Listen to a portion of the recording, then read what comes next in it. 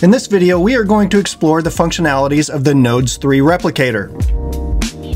The purpose of the replicator is to create instances of forms, connect graphics, or animate 3D models onto geometries.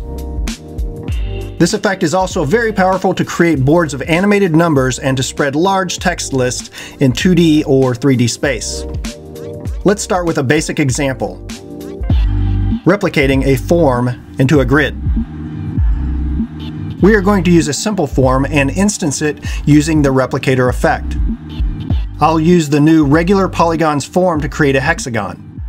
I set it to six sides with two points per side. Then I enable the lines with the default serial connections to close the path.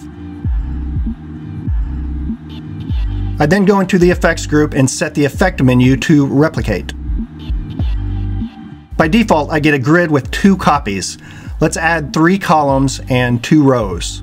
To have the replicas fit into a grid, I use the row offset parameter. The row is made of different columns and one unit corresponds to an offset of one column.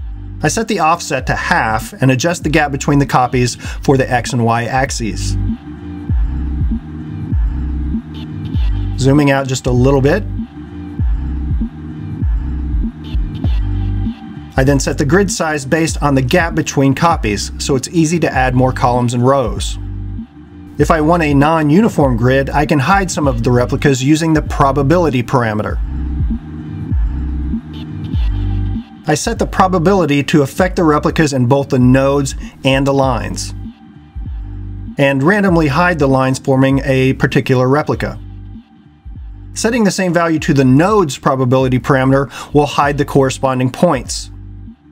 A global seed for the probabilities can be set in the rendering group.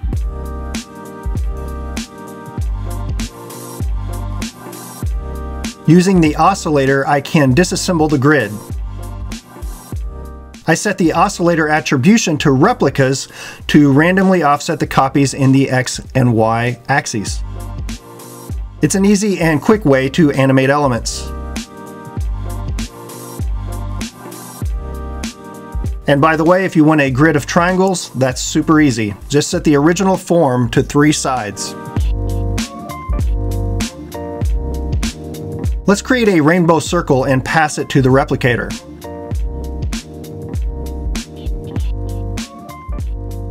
We can create interesting effects applying a per-step rotation to the replicas.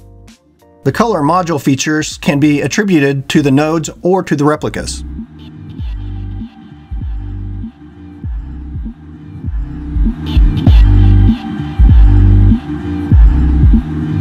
When replicating a form, the features of the size module are transferable.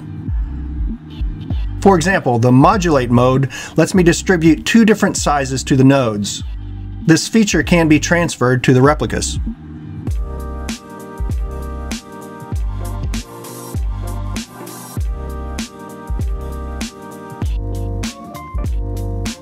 Nodes has a sophisticated system of rotation and orientation.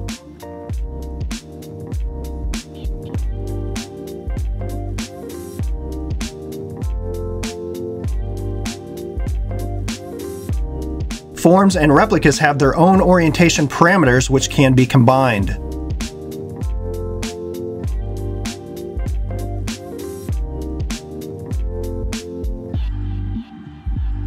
Let's step away from the replicator for just a minute and concentrate on how the orientation system works inside the form group. When assembling points into forms, the nodes and text can be assigned an orientation axis. The fixed mode attaches the axis to the point origin and produces a natural orientation when the form is rotated. This mode also adds an angle to the point when using radial forms like a circle. It's more evident with a rectangular node. The second mode orients the axis to always look at the camera.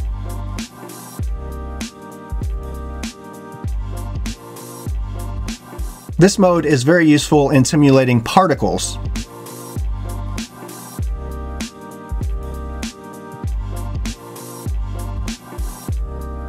or to give the impression that the nodes are spherical.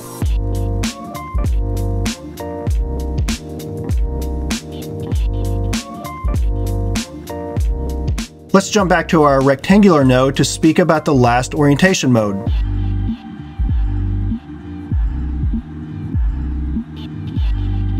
This last orientation mode, look at center, makes the axis point to the form origin.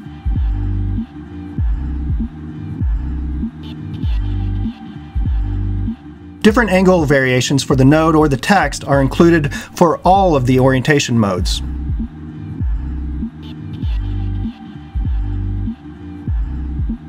One interesting use of the look at center mode is with a sphere. I'll add a little bit of depth here to help visualize that.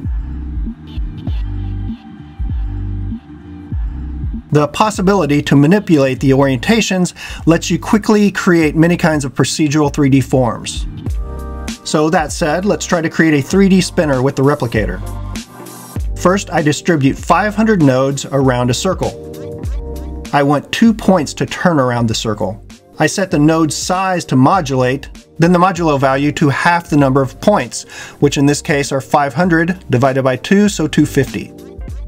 Changing the phase parameter, I can offset the index of the secondary sized point to fake a rotation. In the animation group, I can automate the rotation. I set the first destination to nodes size phase. Then adjust the speed to 500 and play the composition. Now we're going to replicate this widget to form a 3D spinner. We want the circles to be centered on the same plane. To do that, I keep the default replicator grid and instance the form in the z-axis. At first, it looks like what we want, but in fact, by default, the gap is set to 500 in the replicator depth parameter. So I correct the depth, setting it to zero, and change the distribution of the scale through the instance, modifying the scale start parameter.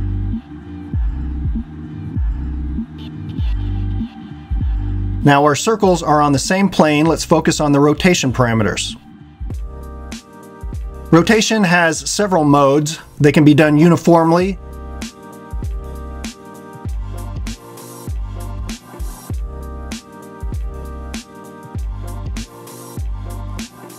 pass through randomly, or have a per step incrementation. The rotation mode affects all of the rotation axes. With this in mind, we can automate the replicator rotation like we did with the points using the animation module. And here is our 3D spinner customizable, tweaking all of the parameters that we just discussed. If you are just starting out with nodes, make sure to check out the massive presets library. All of these presets are infinitely customizable and they are a great place to get started. If this is your first time hearing about the YanoBox Nodes plugin, head over to yanobox.com. There's a lot of good information to be found there, including a fully functional free trial version you can try before buying.